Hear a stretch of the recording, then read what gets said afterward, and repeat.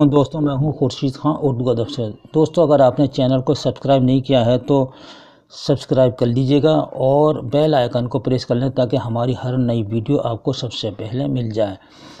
दोस्तों, वीडियो को शेयर ज़रूर करें, हो सकता है आपके शेयर करने से किसी दूसरे का भी फ़ायदा हो जाए।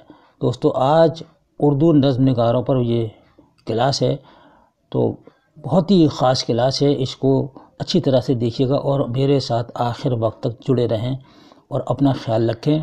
और दोस्तों, मैं आप सबके लिए दुआ करता हूँ कि इन आप अपने इम्तहान में अच्छे नंबरों से कामयाबी हासिल करेंगे। आइए शुरू करते हैं नज़ीर अकबर आबादी का असल नाम जो है, पूरा नाम है शेख वली मोहम्मद। ठीक है, शेख वली मोहम्मद। नज़ीर कहाँ पैदा हुए? ठीक है, दिल्ली में पैदा हुए नज़ीर अकबर आबादी। दिल्ली में पैदा हुए। नज़ीर के वालिद का नाम क्या था? ये शेख फ़ारूक, नज़ीर के वालिद का नाम शेख फ़ारूक है। अक्सर पूछते हैं इम्तहान में, हर शायर के वालिद का नाम आपको याद रखना होगा। उर्दू शायरी में सबसे ज़्यादा मतरूक अल्फाज किसने इस्तेमाल किए? तो नज़ीर ने किए हैं, ठीक है? नज़ीर ने। नज़ीर किस शायर के हम असर थे? यानी उनके साथ कौन थे? उन कौन से मशहूर शायर थे तो वो मीर तकमीर के हम असर थे। नज़ीर की शायरी का मौजू क्या है? मुश्तरक तहजीब, ठीक है? जिसका जवाब है मुश्तर तहजीब। बंजारा नामा किसकी मशहूर नज़म है? तो नज़ीर अकबर आबादी की मशहूर नज़म है बंजारा नामा। उर्दू में अवामी शायर का नुमाइंदा शायर किसको कहते हैं? तो नज़ीर अकबर आबादी को ही कहते हैं अवामी शायर। क्योंकि उन्होंने अवाम के दिलों को जीत लिया है अपनी शायरी से। उन्होंने आसान सलीस ज़बान इस्तेमाल की है, आम अल्फाज इस्तेमाल किए हैं अपनी शायरी में और ऐसी नज़में लिखी हैं जो आम लोगों के लिए पढ़ने में बड़ी दिलचस्पी रखती हैं। जैसे शब बारात, ईद, बकरा, ईद, बंजारा नामा, आदमी नामा वगैरह वगैरह ऐसी नज़में लिखी हैं जो उर्दू दुनिया में बड़ी मशहूर नज़में हैं। रीछ का बच्चा, देखिए, अब आपके सामने आ गया कि रीछ का बच्चा किसकी नज़म? तो नज़ीर अकबर आबादी की है रीछ का बच्चा। नज़ीर की आदमी नामा किस हैत में लिखी गई है? यानी किस शक्ल में लिखी गई है? तो मुखम्मस में लिखी गई है। नज़ीर अकबर आबादी एक तवाइफ के इश्क में गिरफ़्तार थे। इसका क्या नाम था? यानी कि उन्होंने एक तवाइफ से मोहब्बत की थी। नज़ीर अकबर आबादी ने जिसका नाम था मोती। ठीक है? मोती किस शायर की माशूका थी तो नज़ीर अकबर आबादी की थी। उर्दू शायरी में सबसे ज़्यादा मतरूक अल्फाज के शायर ने इस्तेमाल किया है तो नज़ीर अकबर आबादी ने, ठीक है। ये दोबारा आया है सवाल, किस नक़ाद ने नज़ीर को चुटकुले बाज कहा है? तो वो न्याज फतेहपुरी जो मशहूर नक़ाद हैं, यानी कि तनकीद नगार हैं, उन्होंने नज़ीर अकबर आबादी को चुटके चुटकलेबाज कहा है।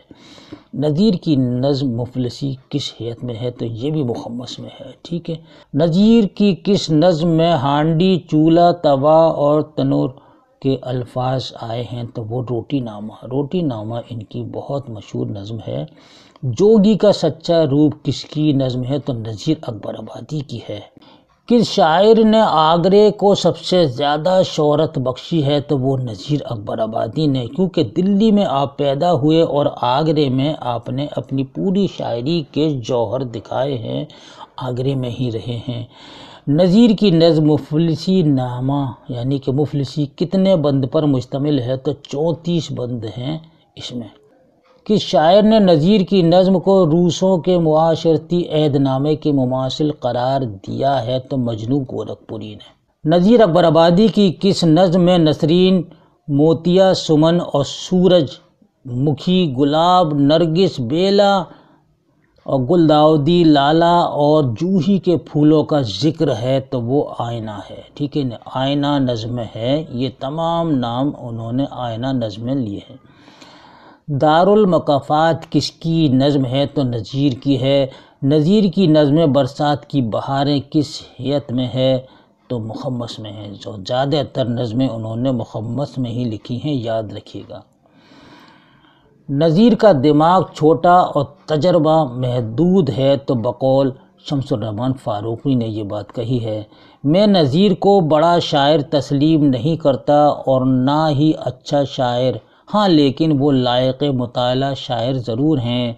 बड़ी शायरी नज़ीर के कब्ज़े कुदरत से बाहर है। बकौल शमसुररहमान फ़ारूकी ये कहते हैं। शमसुररहमान फ़ारूकी का कौल है, नज़ीर का वजूद ही उर्दू शायरी की बेनज़ीर तनकीद है। बकौल कलीमुद्दीन अहमद का ये नज़रिया है नज़ीर अकबर आबादी के बारे में। नज़ीर चुटकलेबाज शायर है। बकौल किसके है तो न्याज फतेहपुरी। यहाँ कबीर के अखलाक और खुसरो के जहन का एक दिलकश इम्तियाज़ मिलता है। ये नज़रिया है न्याज फतेहपुरी का नज़ीर के बारे में। नज़ीर ने उर्दू शायरी के महल के अंदर चोर दरवाज़े की बुनियाद डाली और पहली दफ़ा हम बादशाहों, नवाबों और वज़ीरों के साथ उर्दू शायरी की बिसात पर आम इंसानों को भी देखते हैं, यानी बिसात का मतलब है हैसियत। ठीक है, हैसियत। एहतशाम हुसैन का ये कौल है नज़ीर के बारे में। अब आते हैं अकबर अलाबादी ठीक है, दूसरे शायर हैं हमारे सिलेबस में अकबर अलाबादी अकबर अलाबादी का पूरा नाम सैयद अकबर हुसैन रिजवी। रिजवी भी लगाते हैं, ठीक है? रिजवी भी है इनका। अकबर की पैदाइश कब और कहाँ हुई? 16 नवंबर 1846 को हुई इनकी बारह ज़िला अलाहाबाद में। अकबर के वालिद का नाम तफजुल हुसैन है और अकबर ने अपनी शायरी की इब्तदा किससे की? तो गज़ल से की थी और नाम रोशन किसमें किया? नज़म निगारी में। ठीक है, नहीं, नज़म निगारी में आपने नाम रोशन किया, लेकिन शायरी की इब्तदा गज़ल से की थी। अकबर के शायरी के उस्ताद कौन थे? तो ग़ुलाम हुसैन वहीद अलाबादी आपके उस्ताद थे। किसने अपनी शायरी में बुद्धू, जुम्मन, ऊँट, टट्टू, गाय, रेलगाड़ी वगैरह का ज़िक्र ज़राफ़त के लिए इस्तेमाल किया है, यानी कि अकबर अलाबादी ने? बरक कलीसा, यानी के गिरजा घर इसका मतलब है तो ये नज़म बड़ी मशहूर है, अकबर अलाबादी की है। अकबर अलाबादी किस तहरीक के मुखालफत करते थे तो वो अलीगढ़ तहरीक की मुखालफत करते थे, यानी कि सर सैद के मुखालिफ थे, सर सैद की तहरीक से मुखालिफ थे, और उसके बावजूद भी आपने नज़र अलीगढ़ नज़म लिखी है। लिसानुल असर किसे कहा जाता है तो अकबर अलाबादी को कहा जाता है। मगरबी तर्ज हयात को तजहीक का हदफ बनाने वाले शायर कौन हैं? तो अकबर अलाबादी हैं।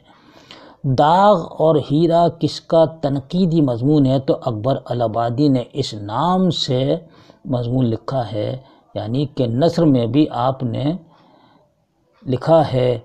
नज़म गांधी नामा किसकी तख्लीक है? तो अकबर अलाबादी की है। गांधी नामा में कितने अशार हैं?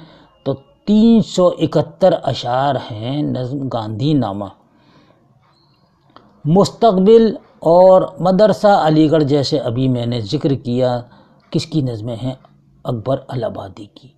नज़म फ़र्ज़ी लतीफ़ा किस हियत में है? तो क़त की हियत में है। ये हमारे सिलेबस में है दोस्तों। सर सैद की मौत पर अकबर ने क्या कहा था? तो जवाब है, हमारी बातें ही बातें हैं। सैयद काम करता था, लेकिन कितना अच्छा लिखा है ये जुमला। सवाल है, मगरबी शाख फ़कत है तेरी कौमी हस्ती। ये जो टूटी तो नहीं, कोई नशेमन पैदा। ये शेर किसका है? तो ये शायर हैं अकबर अलाबादी उनका है। दूसरा है, हम में बाकी नहीं, अब खालिद जाँ बास का रंग, दिल पे गालिब है, फ़कत हाफिज शिराज का रंग। ये शेर किसका है? तो अकबर अलाबादी का है। अकबर के खतूत का पहला मजमू कौन सा है? किस, यानी उनवान क्या है? तो मकतूब अकबर। अकबर की शायरी को गालिब से बरतर किसने करार दिया? तो यहाँ से यगाना चंगेज़ी ने इसकी तारीफ़ की है कि अकबर की शायरी गालिब से ज़्यादा अच्छी है। अकबर को अपना उस्ताद मायनवी किसने कहा है? तो अल्लामा इकबाल ने कहा है। अकबर की मशहूर नज़में हैं। दोस्तों, याद रखिएगा, अगर कोई भी नज़म इसमें से पूछ लें तो तालीम नस्वा नज़म कौमी बरक कलीसा जलवाए दरबार दिल्ली और दूर कोहे लब साहिल से, जो गुज़री एक मौज दरिया की रवानी, पानी का बहाव फ़र्दी लतीफ़ा, एक में सीमन में बदन, गांधी नामा करदन सभा मुस्तबिल मदरसा अलीगढ़, नई और पुरानी रोशनी की मकालमात, दुआए कुलू एक ख़त एक ख़त बनाम मुंशी निसार हुसैन और वफ़ात सर सैद मरहूम, ये इनकी मशहूर नज़में हैं। अकबर के मुतालिक कुछ मुख्तलिफ़ ख्याल ठीक है? अकबर रवायती होते हुए भी बागी और बाकी होते हुए इसलाही हैं, बकौल रशीद अहमद सिद्दीकी ने ये बात कही है।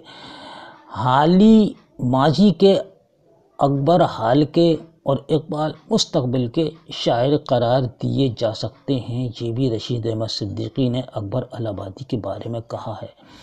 अकबर की नज़र कौम की मीराज पर भी थी और कौम की तकदीर पर भी बकौल रशीद अहमद सिद्दीकी। ये तीनों अकवाल जो हैं, रशीद अहमद सिद्दीकी, चौथा भी उन्हीं पर है कि उर्दू में तंज ज़राफ़त का सलीका व सहीफ़ा गालिब और अकबर का दिया हुआ है बकौल रशीद अहमद सिद्दीकी। और अकबर शोहर परस्त बीवी को एक परस्त लेडी पर तरजीह देते हैं बकौल रशीद अहमद सिद्दीकी। अकबर मुश्ताक गज़ल गो और रवायती गज़ल गो सूफ़ी थे तो ये आल अहमद सुरूर का है। दोस्तों, नज़ीर अकबर आबादी और अकबर अलाबादी नज़म गो पर आपने आज के सवालत याद कर लिए होंगे इन फिर एक नई वीडियो के साथ आपसे फिर मुलाकात होगी। तब तक के लिए इजाज़त दीजिए। अल्लाह हाफ़